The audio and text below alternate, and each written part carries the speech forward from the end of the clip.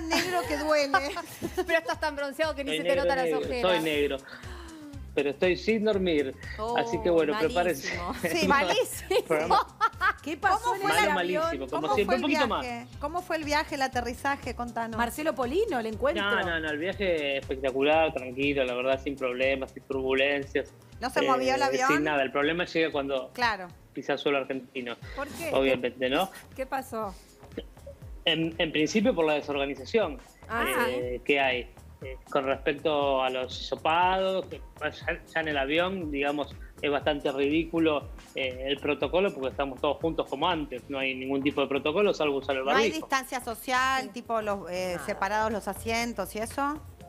Nada. Nada. Uno al lado ¿Los del otro. asientos no están como, separados? como en la No. vieja normalidad, como en la otra vida. La gente se saca y el después barbijo. cosas ridículas como, por ejemplo, que no te dan café por la pandemia o no te dan una manta por la pandemia, No. pero después cenás o almorzás según el horario eh, sin tapaboca. O sea, es Pero ¿y cuál es la explicación? ¿Cuál es lo del café y la manta? Porque además ya, ya está claro que no se contagia a través de los objetos, digamos, me parece que, que no tiene ningún No sentido. lo sé, no lo sé. Aparte del Ah, frío que hace en el avión. aerolíneas. Parece que, no sé, un plato de pastas no contagia, pero un café sí. ¿Y el No vaso de agua te lo dan? ¿El vaso de agua sí? No, la agüita sigue. Y bueno, la ¿y qué, di- diferencia habría? no te deshidratás. ¿Y qué, qué diferencia habría Está- entre un vaso de agua y un café? que encima el explicación. café es de esos de termo Pero preparado. están ahorrando en café, Janina, aprovechan para ahorrar en café. Y para mí en tintorería de manta. No sé, pero la gente tiene frío, necesita una manta, bueno, no te las dan. Cosas que pasan. Y después cuando llegas acá a la Argentina, el hisopado. Yo, por ejemplo, estoy vacunado, pasé por el COVID, Sí.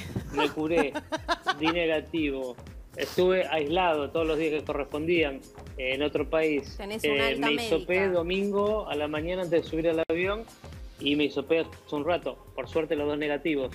Sí. Explícame por qué estoy encerrado. Yo Que soy el hombre lo más mismo. seguro de la Tierra, creo. Sí. Sí. Sí, Sí. sí, los siete Está días el siempre DNU. obligatorios, que espero que Alberto, que llegó de Europa, también los cumpla toda esta semana, los siete días. Sí, el sí, esperá sentada. El DNU tendrían que actualizarlo. Sí, pero si es un ser normal Sí. como nosotros. Sí, pero ¿El igual hisopado todos te lo cobraron? Pero si reunís todas esas cosas, a ver, supuestamente ya pasaste la enfermedad, estás vacunado, Tenés ya estuviste aislado, Sí. tenés una alta médica que te dice que no contagias Y dos hisopados. Y bueno, pero no, pero no son y todos dos iguales hisopados. porque ¿Qué más quieren? tengo entendido que los futbolistas no hacen esos siete días cuando llegan. Ah, bueno. Directamente van a ¿Futbolistas jugar. cosa, Ah, como la gente que sí. tiene algún tipo de poder o está detrás de algún tipo de negocio. El fútbol es un negocio, así que olvídate. Bueno, o sea Fue que lo único que no se. Ángel. No, Ángel, quiero saber qué pasa cuando uno pisa. Igual la culpa no es de los futbolistas. con- Voy a salir en defensa frío de que ellos. afuera me puedo quedar No es de los en futbolistas la culpa, No, es bueno, de los dirigentes. Bueno, bien. los chicos no tienen la culpa. Pero estoy diciendo que no, no es que todo el mundo son entra en, víctimas la- del en las sistema. mismas leyes. ah, bueno, pero no son los futbolistas, son los dirigentes o los clubes.